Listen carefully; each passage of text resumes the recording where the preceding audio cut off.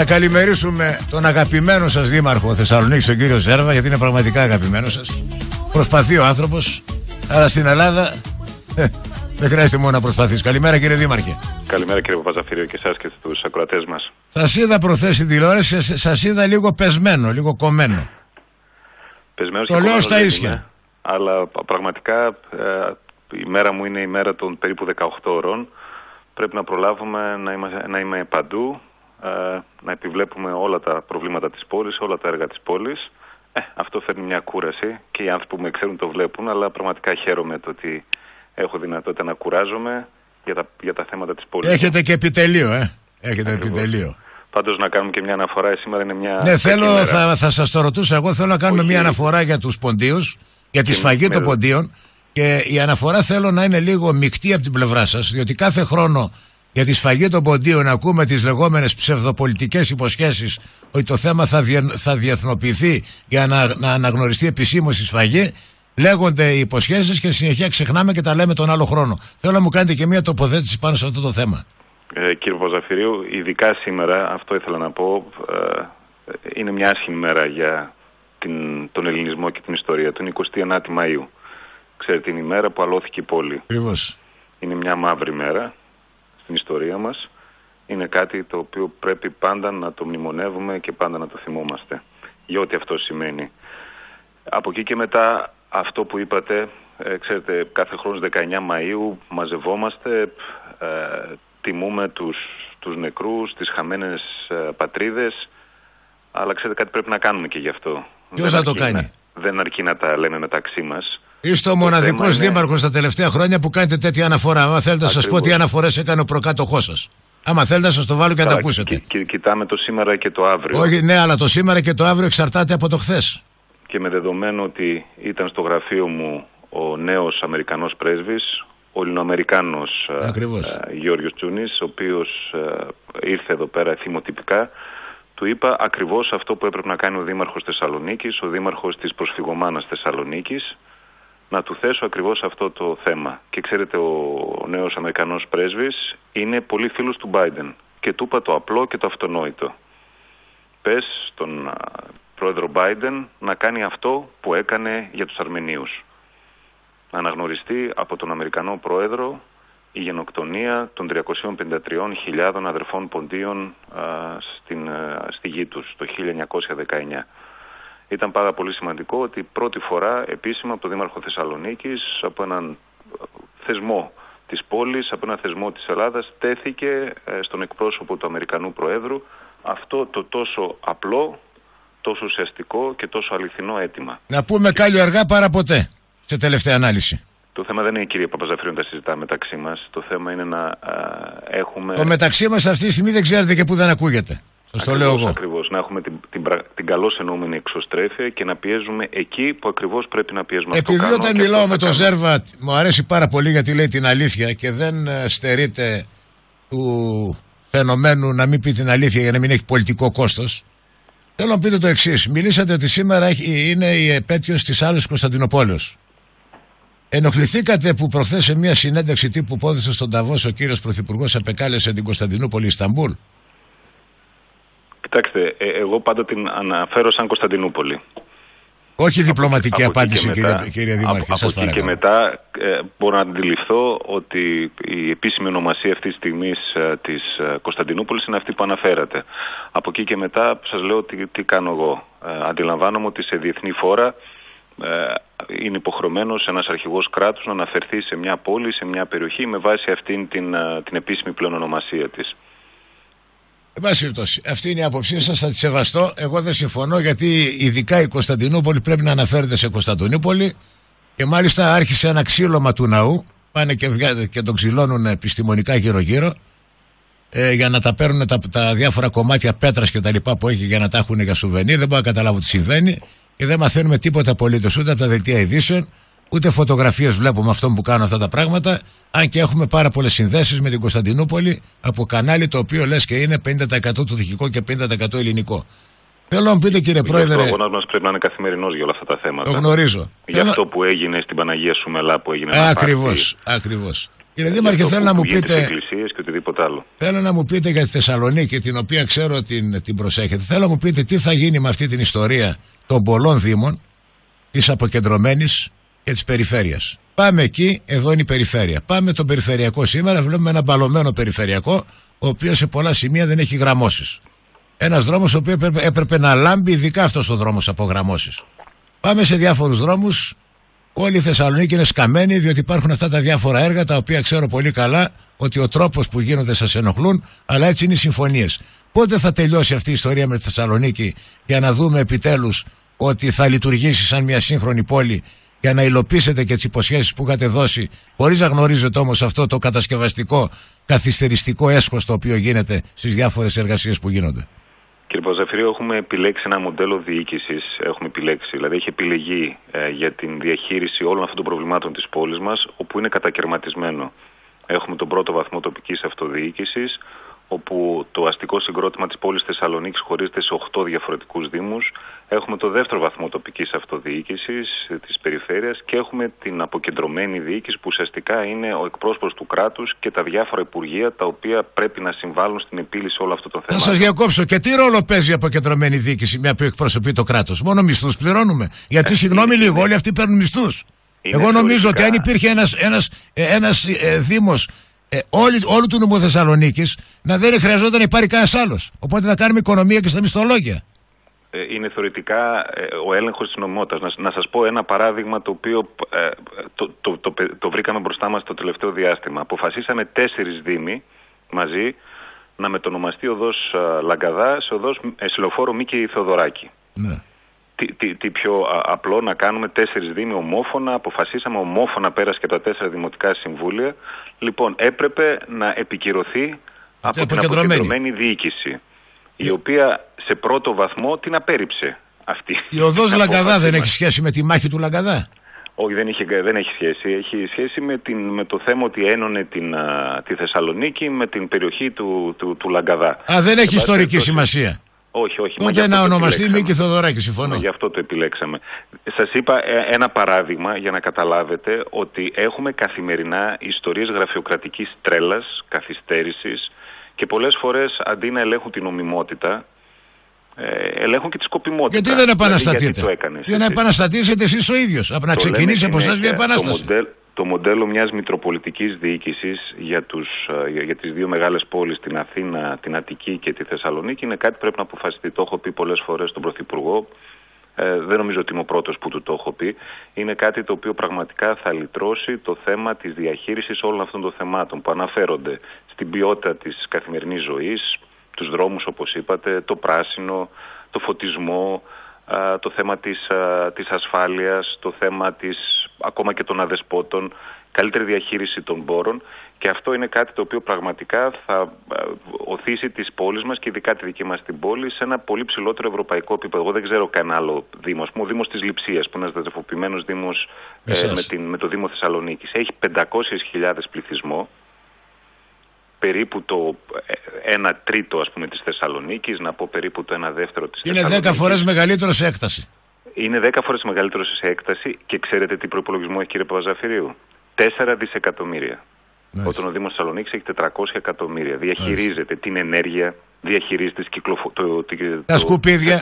συγκοινωνίες, διαχειρίζεται σε συνολικό επίπεδο τα σκουπίδια. Γιατί θα μου πει κάποιος και εσύ, Ζέρβα, ασχολείσαι με τα σκουπίδια, αλλά ασχολείται με την ενεργειακή αξιοποίηση των σκουπιδιών. Καταλαβαίνετε, αποφασίζει για όλα αυτά τα οποία μπορούν να κάνουν καλύτερη ε, την ποιότητα ζωής των πολιτών. Κύριε Δήμαρχε, ήρθα πολλά μηνύματα από πόντιους τα οποία λένε να και ένας δήμαρχος που μας θυμήθηκε. Αυτή είναι η ουσία. Πετε μου κάτι όμως. Δεν και το πά... θυμήθηκα. Είναι κάτι το οποίο έχω. Όχι, είναι ένας δήμαρχος που μας θυμήθηκε. Έχει νόημα αυτό που είπανε. Έχει καταγωγή, κύριε Θα με αναγκάζετε, θα αναγκάζετε να σας πω αυτό. Οι στη ζωή μου είναι πράγματα τα οποία τα, τα κουβαλάω κάθε στιγμή πάνω μου. Να σας πω για τον προκάτοχό σας τι είχε πει για την έξοδο της Μύρνης. Είχε βρήσει. Άμα θέλετε το βάλω να τα ακούσετε. Γι' αυτό ας το ξεχάσουμε καλύτερα. Τέλος πάντων. Έρχονται πάρα πολλά μηνύματα που σας παρακαλούν. Σήμερα και τον μπροστά. Σας παρακαλούν να πάρετε κάθετες και οριζόντιες αποφάσεις γιατί ο Δήμαρχος Θεσσαλονίκης είναι μια προσωπικότητα διαφορετικού κύρους από ό,τι είναι ορισμένοι άλλοι σχετικά με τις λαϊκές αγορές. Έχουμε τεράστιες διαμαρτυρίες από τη λαϊκή αγορά ε, στη Γρηγορίου Πέμπτου Όπου μου λένε, ναι, μεν η λαϊκή αγορά ανήκει στην περιφέρεια, στη φιλνάδα μου την Πατουλίδου, αλλά από την άλλη μεριά πεζοδρόμια, δέντρα, πλακάκια, άσφαλτος έχουν καταστραφεί όλα. Έχουν τα ίδια παράπονα και από την οδό Νικάνορο, μια άλλη λαϊκή αγορά. Επομένως, πρέπει να. Οι λαϊκές αγορές γιατί ανήκουν στην περιφέρεια, αλλά οι ζημιές που κάνουν ανήκουν σε εσάς. Είναι ένα μοντέλο όπως και καθαριότητα ανήκουν σε εμάς. Είναι ένα μοντέλο που επιλέχθηκε για την Αττική και για τη Θεσσαλονίκη με την ε, δική σας φίλη Βούλα, είναι και δική μου φίλη και εξαιρετική συνεργάτηδα. Αύριο κιόλας θα είμαστε μαζί, ε, μαζί με τους ανθρώπους των λαϊκών αγορών για να συζητήσουμε, θα και το ξέρατε κύριε Παπαζαφυρίου, αύριο το μεσημέρι θα είμαστε εκεί για να συζητήσουμε από κοινού ε, τα διάφορα προβλήματα που υπάρχουν. Η Θεσσαλονίκη, όπως σας είπα, ο Δήμος Θεσσαλονίκης έχει 22 λαϊκές, περίπου 3 κάθε μέρα, που σημαίνει ότι είναι πραγματικά ένα αντικείμενο πολύ βαρύ. Θα δούμε πώς μπορούμε να φέρουμε βελτιώσεις, γιατί σε περιοχές που έχει τέτοιες λαϊκές, ας πούμε την οδό Χαλκιδικής, έχουμε κάνει μια τεράστια ανάπλαση. Ξέρω. Ε, ο Δήμος Θεσσαλονίκης και είναι πάρα πολύ σημαντικό να ξέρουμε πώς αυτές οι περιοχές οι οποίες σιγά σιγά τις κερδίζουμε ε, σε ποιότητα, σε, ε, σε ανάπλαση, να δούμε πώς θα λειτουργούν καλύτερα και με το θέμα των λαϊκών, γιατί είναι πολύ σημαντικό και να έχουμε αυτές τις δυνατότητες των πολιτών να πηγαίνουν και να βρίσκουν φρέσκα και φθηνότερα αγαθά, αλλά από την άλλη πλευρά να έχουμε και το περιβάλλον στην καλύτερη δυνατή κατάσταση. Αυτό είναι κάτι που συνεργαζόμαστε με τη Βούλα, με την κυρία Πατουλίδου, να το πω έτσι λίγο πιο επίσημα, ε, και όποιο πρόβλημα υπάρχει θα κοιτάξουμε να το, να το λύσουμε από κοινού. Η κυρία Πατουλίδου είναι παράδειγμα προς μίμηση, διότι η Πατουλίδου την παίρνει σήμερα και αύριο σου λύνει το πρόβλημα ή σου λέει θα λυθεί τότε ή σου λέει δεν τι αρμοδιότητέ μου. Αλλά σε έρθουμε στις λαϊκές αγορές. Εγώ λόγω των, ε, της δουλειάς μου και λόγω του ότι έχω και, και επιχείρηση στο Μιλάνο εν λειτουργία, έχω γυρίσει και όλο τον κόσμο. Παντού υπάρχουν λαϊκές. Αυτό όμως το οποίο υπάρχει εδώ πέρα είναι ένα έσχος στην κυριολεξία. Α πάρουμε τη λαϊκή η οποία φτάνει μέχρι τη, τη Μάρκου Μπότσαρη. Θα σας πάρω να πάμε μια βόλτα και θα δείτε ότι η Μάρκου Μπότσαρη ε, μετατρέπεται σε ένα, σε ένα ε, ε, ε εσκέμα χαλά, όπω το λένε, και αγελιοποιεί την εμφάνιση του δρόμου. Μέχρι και τέντες κρεμάνε παράνομα από πάνω, τις οποίες τις δένουν πάνω στα δέντρα κτλ.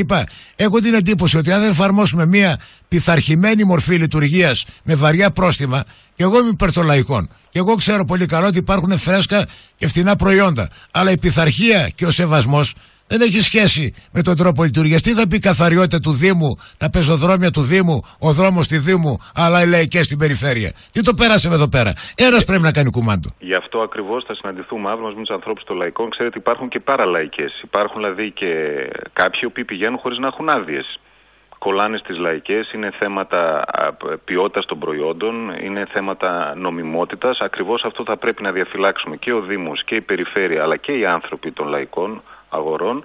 Θα πρέπει να διαφυλάξουμε και την ποιότητα και την εικόνα, ακριβώς αυτό που είπατε και αυτό πρέπει αύριο και κάθε μέρα να το, να το κυνηγάμε, να έχουμε και τη βοήθεια της αστυνομίας και η Δημοτική Αστυνομία ε, πολλές φορές ε, ε, πηγαίνει εκεί για να κάνει αυτούς τους ελέγχους. Ξέρετε λίγο και με την πανδημία το πράγμα λίγο ξεχύλωσε, λίγο τα μέτρα, λίγο αυτά. Τώρα λίγο που γυρίσαμε πίσω νομίζω ότι όλα αυτά πρέπει να έρθουν σε μια εικόνα πολύ καλύτερη γιατί πραγματικά πρέπει να έχουμε την εικόνα όπως είπατε μιας σύγχρονης πόλης. Παντού υπάρχουν λαϊκές αλλά είναι και οι ορισμένες δικές μας λαϊκές, οι οποίες ξεχυλίζουν και έχετε, εικόνα, έχετε εκεί, κύριε Δήμαρχε. Και το κομμάτι της κομποστοποίησης το οποίο ξεκινάμε. Ναι. Έχετε δηλαδή, εκεί, κύριε Δήμαρχε. Να υπάρχει τα αυτά τα οργανικά υλικά, ψάρια και όλα αυτά, μην τα πετάνε. Ε, Ακριβώς, από το στόμα μου το πήρατε. Υπάρχουν ειδικοί κάδοι τους οποίους θα τους προμηθεύσουμε στους ανθρώπους αυτούς. Θα το σεβαστούν όμως, αν μα προμηθεύσετε. Ε, κοιτάξτε, αυτό το καταρχάς το συζητάμε. Έχω μηνύματα από την Ικάνορο. Όλη η γειτονιά μου λένε βρωμάει ψαρίλα. Διότι τα παίρνουν και τα, τα πετάνε δίπλα εκεί που είναι αποχετεύσεις. Ενώ ο κάδος κλείνει. Ακριβώς αυτά θέλουμε να αποφύγουμε, κύριε Παπαζαφυρίου, και, και γι' αυτό θα συζητήσουμε. Ξέρετε, εμείς πρέπει να συζητάμε. Πρώτα συζητάς, μετά λες ότι το κάτι δεν πάει καλά, το αστυνομεύω. Μπαίνουν τα πρόστιμα για να έχουμε το καλύτερο δυνατό αποτέλεσμα. Θέλω να πιστεύω ότι με την συνεργασία, με την σωστή ε, κοινή αντιμετώπιση αυτών των θεμάτων, θα έχουμε μια πολύ καλύτερη εικόνα. Κύριε Δήμαρχε, κοιτάξτε, έχετε συνεργάτες. Πάμε σχάρι, έχετε τον κύριο Ιπποκράτη, ο οποίος είναι επικεφαλής των εξωτερικών επιχειρήσεων. Δηλαδή αυτός ο άνθρωπος, να σας δώσω τα θερμά μου συγχαρτήρια.